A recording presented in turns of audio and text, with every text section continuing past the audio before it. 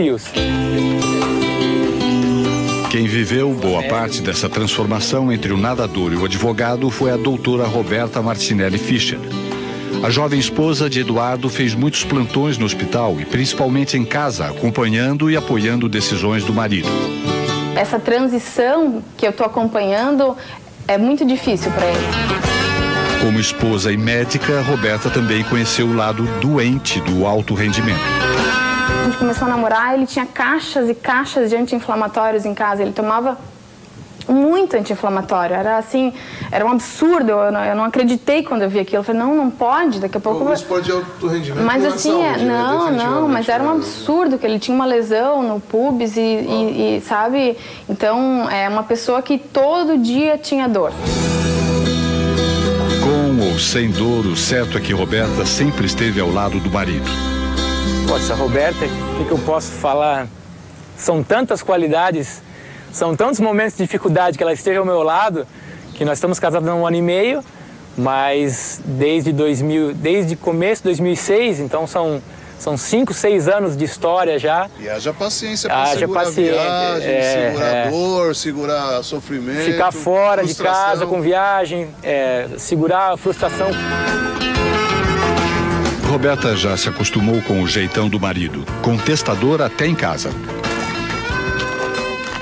Na nossa vida ele é assim também, né? Então, se a gente está numa roda de amigos, ele é aquela pessoa que fala, não, eu não concordo, eu acho que é isso, né? E, na verdade, ele tem embasamento, ele lê muito, ele é uma pessoa, ele é, ele é autodidata, ele estuda inglês, ele estuda, ele lê muito, então... É... Consequentemente, bem informado. Consequentemente, ele consegue... É, é relatar o que ele, né, defender as coisas com embasamento, né? Então acaba, na verdade, o, o objetivo dele é sempre tentar te convencer da, da, da, da opinião dele. Agora, nas horas vagas, Eduardo Fischer também arruma tempo para se aventurar como blogueiro. Continua em forma para explicar e debater os novos e velhos problemas da natação brasileira. A ideia do blog inicial era para falar um pouco de natação, das minhas experiências como atleta, dos meus treinamentos.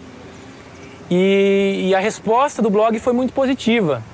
Logo no começo eu, eu vi que as pessoas me escreviam e, e eu vi que, poxa, eu acho que aí eu tenho uma brecha para de repente colocar alguns questionamentos, algumas coisas que eu acho que não são as, as, as mais corretas e comecei a inserir algumas, algumas coisas que eu achava que deviam mudar. Eu vi que as pessoas sentiam falta de alguém botar isso publicamente, sabe? Pais de atletas, atletas, é, repórteres, né? Pessoal da, da imprensa e da mídia, da, exatamente, como fonte informativa, exatamente. E, e, e, a resposta foi muito positiva, assim. E eu, e eu senti que as pessoas estavam sentindo falta de alguém falar as coisas que ninguém, que todo mundo tem medo de falar.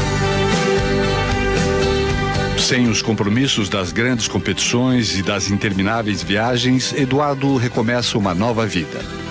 Com tempo para pescar com o sogro. Ah, mas ele vai com a minhoca. Reunir os amigos no churrasco que ele mesmo prepara.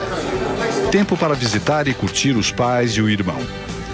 Hoje, o pescador das piscinas vê a chegada da aposentadoria como um prêmio. O futuro quem sabe, se um dia deixarem, ele garante transforma a confederação.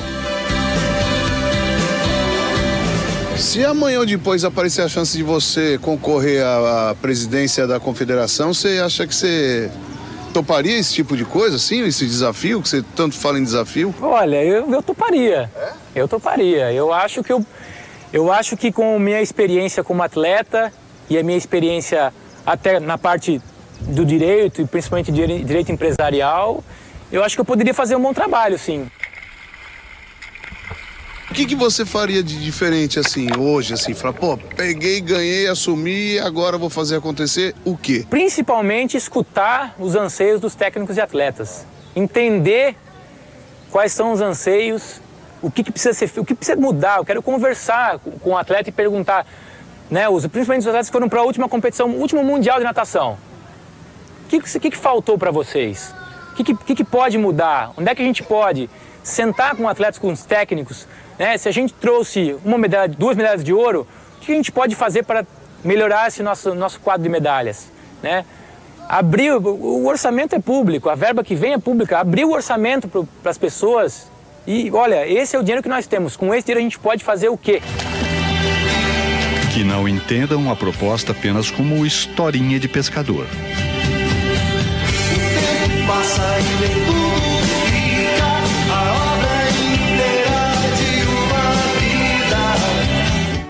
E E aí, gostou? Então escreva pra gente no endereço que está aí na sua tela. Ajude-nos a contar outras boas histórias do esporte.